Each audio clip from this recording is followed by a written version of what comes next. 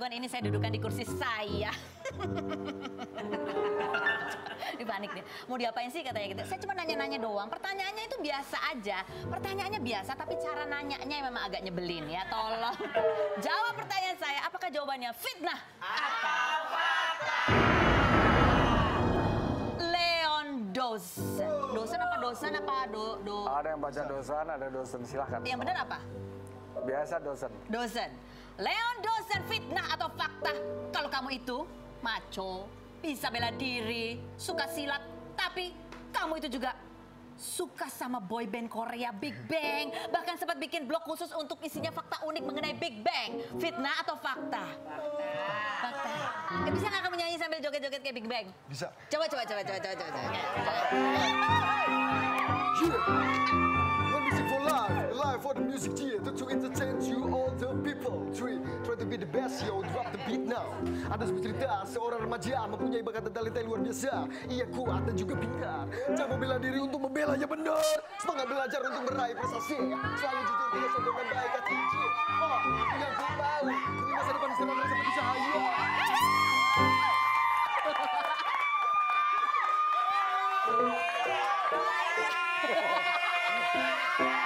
Eh, tunggu. Kita tanya pendapat bapaknya. Bapak gimana ketika anaknya eh, nari-nari yang teriak laki-laki semua? Ini laki-laki apa perempuan-perempuan? Oh, perempuan. Masih li- lihat anaknya ternyata punya banyak kesukaan gitu di dunia hi- hiburan. Nyanyi juga bisa, fighting juga bisa. Harapannya sebenarnya kalau sebagai bapak apa sih? Saya terserah anak aja ya. Terserah Dia anak. sedang mencari-cari Oh, mencari jejak ya. Tapi tadi lihat Leon begitu tuh kayak mukanya agak gini tuh apa yang dipikirin tuh sebetulnya? Gak nyangka bisa Nggak- begitu. nggak- nggak pernah lihat. Ya sempat, cuma eh, apa yang nggak saya bawa ini. Oke baiklah lanjut. Fitnah atau fakta sekarang kita beralih ke Willy Dozen. Willy Dozen fitnah atau fakta bahwa saat karir kamu sedang bagus-bagusnya di Hong Kong, kamu pernah diancam oleh mafia Hong Kong yang membuat kamu akhirnya memilih pulang ke Indonesia.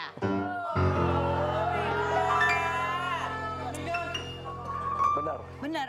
Kok bisa sampai dikejar-kejar mafia Hong Kong tuh kenapa? Ya eh, era tahun 60, 70 sampai 80, 80 akhir itu memang triad menguasai perfilman di Hong Di Kong. Hong Kong.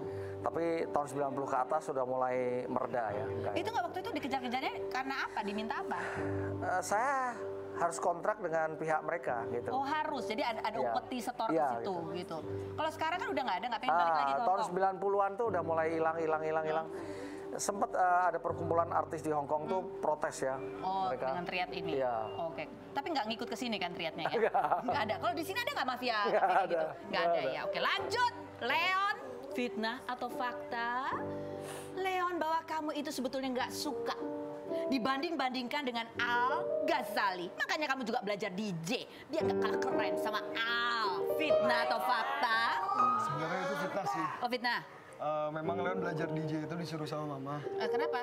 Mama yang nggak mau kalah sama... Biar apa ya? Biar multi talented. Gitu. Oh gitu. Kamu suka tapi ke DJ? Suka memang suka musik dari kecil memang udah di setelin musik terus sama mama. Papa tahu nggak? Saya kurang paham lah. Bapak taunya fighting aja Ya, gitu ya. Oke, betul. baiklah. Fitnah atau fakta?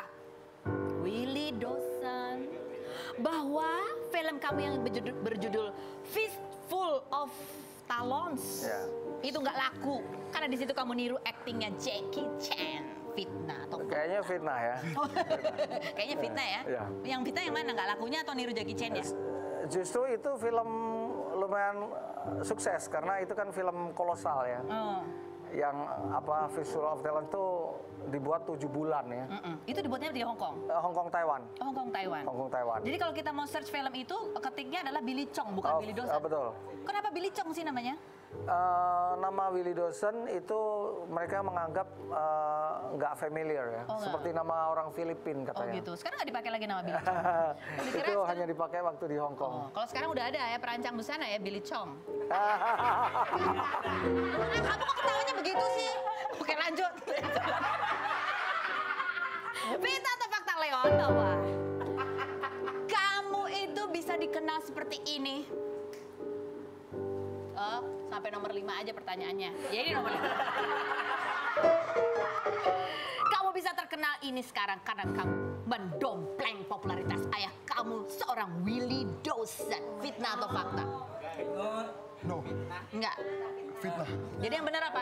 Karena memang dari dulu Leon ada bakat, jadi eh, autodidak aja gitu. Otodidak aja. Jadi kalau misalnya kamu nggak pakai embel-embel dosen, kamu bakalan terkenal? Ya taekwondo, karate, apa segala acting memang dari kecil dulu. Oh dari kecil Iya. emang. Sekarang mau nyanyi juga. Berarti mendompleng Betara Sonata. Iya. Oh Eh, iya. enggak. Enggak. Oke baiklah. Sekarang tuh kasih tepuk tangan dulu dong buat mereka berdua. Kita kembali ke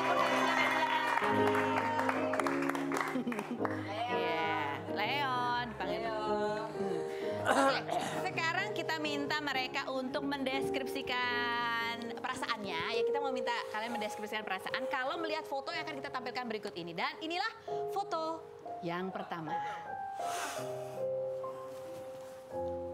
Nah, ini adalah foto dari para pemain eh, apa? Tujuh manusia, tujuh manusia. Arr. Ada ini kita mau tanya siapa yang di antara mereka nih? Lihat udah lihat ya.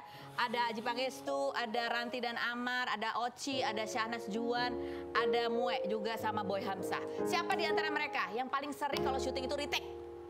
Pertanyaan Eh, saya. eh, siapa Jo? Eh, banyak retake itu karena kita kadang-kadang sering bercanda. Oh siapa yang paling sering bercanda? Sering Samuel Zilguin. Oh si Mue. Ah, Iya. itu dia sering retake karena juga dia sering bercanda sendiri Oh, itu. ketawa sendiri gitu. Ya padahal kalau serius nggak, tapi eh, pada saat di lapangan kita udah satu tahun setengah ya, memang perlu bercanda ya. Iya, iya. Buat Perlu, refreshing. ya, karena kalau nggak satu tahun setengah di hutan, bayangin aja. Iya ya, agak gersang juga Iya. ya. Oke. Pertanyaan berikutnya, siapa di antara mereka yang paling sering mojok-mojok berdua aja? Eh, coba. Eh, Eh, Syahnas, sama Juan. Oh, siapa sama Juan yang sering mojok-mojok berdua? Manja ya. eh, Oh, oke. Lanjut apa? Oh, kita lihat ke foto berikut ini. Apa perasaan kalian kalau melihat foto yang akan kita tunjukkan sosoknya? Berikut ini. Si Kike dan Oci. Yeah. Eh kita tanya bapaknya dulu ya. Gimana Pak? Bapak lebih setuju sama Kike apa sama Oci sebetulnya? Hmm, saya, Langsung dicolek sama anaknya. Jangan salah sebut Pak. saya sih lebih setuju sama Kike ya. Lebih setuju sama Kike. dia bukan seorang artis dan apa ya. Emang kenapa kalau sama artis? Eh, saya lihat Kike ini orangnya sederhana, Oh, simpel dan apa bersahaja oh oke. dan santun ya. Oke. Apa sekarang kalau buat Leon? Apa perbedaan antara Kike dan Oci itu apa? Eh, dari sifat jelas beda ya, Oh, oh. beda jauh. gitu. Kalau Oci? Kalau Oji apa ya, mungkin karena dia artis ya. Eh? Dan kalau Kike itu lebih keibuan sifatnya dan Kalau lebih keibuan. lebih perhatian. Kalau kalau maksudnya Oci polos. kalau artis kenapa emang? Enggak, maksudnya em, kalau misalnya beda lah gitu. Kalau aku lebih nyaman sama Kike Oh lebih nyaman sama Kike. dari sifat keibuan dia. Oh, itu adik kelas kamu dari ya? Sifat dewasa dia. Oh, oh, oke. Lanjut. Pernah pacaran? Eh kamu pacaran gak sih sama Oci? Pernah pacaran ya emang Enggak, deket ya? Teman ya. Eh, berteman biasa aja sih. Lu cuma biasa masa? Berteman deket doang. Enggak pernah pacaran, cuma sebulan doang.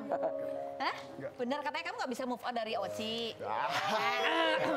Coba kita dengar apa kata Oci. Iya. Coba kita lihat. Kata Oci bahwa kamu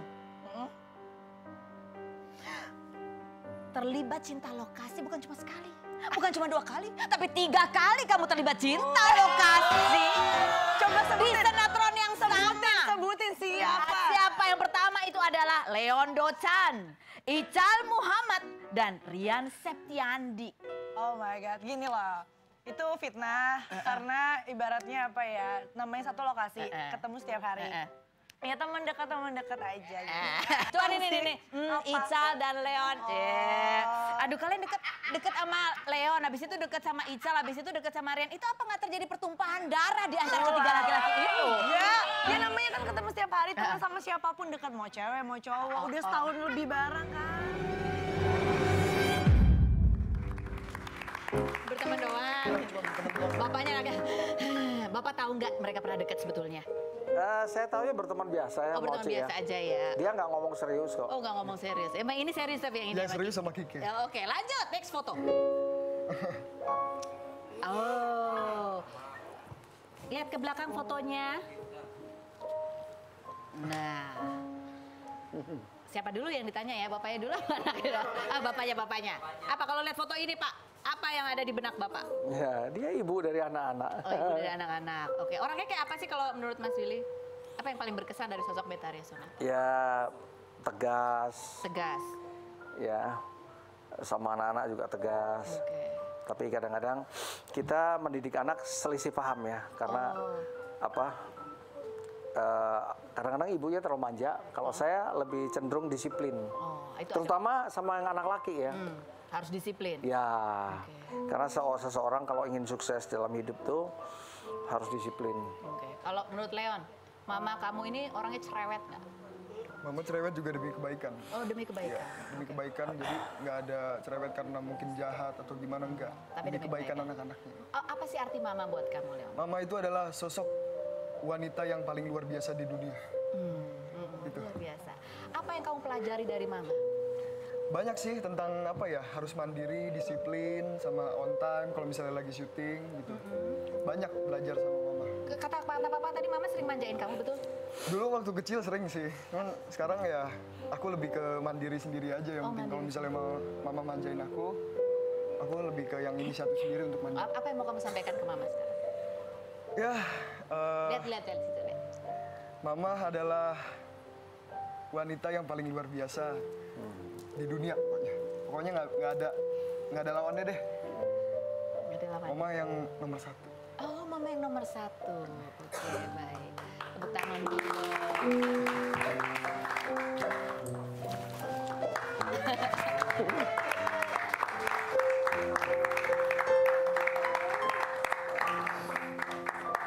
Oh, so sweet.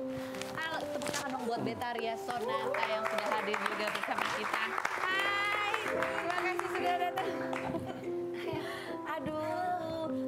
kasih. Kak, sampai menitikkan air mata. Kenapa? Gak nyangka dapat pujian seperti itu dari anaknya. Iya, di dunia. Di dunia nomor satu, perempuan nomor satu. Oke, Mama. Ini lihat sekarang Leon sudah mulai menapaki, ini buat Mama dan Papa ya. Leon sudah menapaki dunia yang kalian berdua juga su- sudah tapaki lebih dulu. gitu. Apa sih yang, ada kekhawatiran nggak sih? Kekhawatiran em,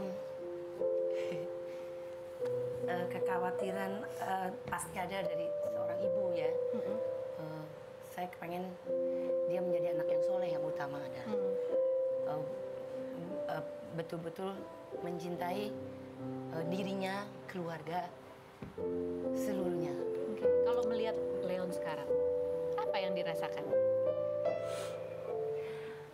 manis. Anak manis. Anak manis.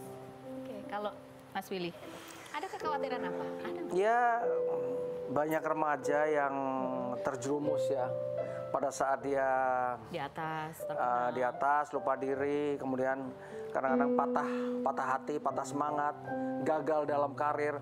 Maka saya selalu bilang ya di dalam hidup ini ada dua jalan jalur nih.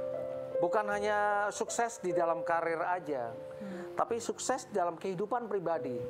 Artinya kamu nanti punya keluarga, punya rumah tangga. Itu juga harus sukses.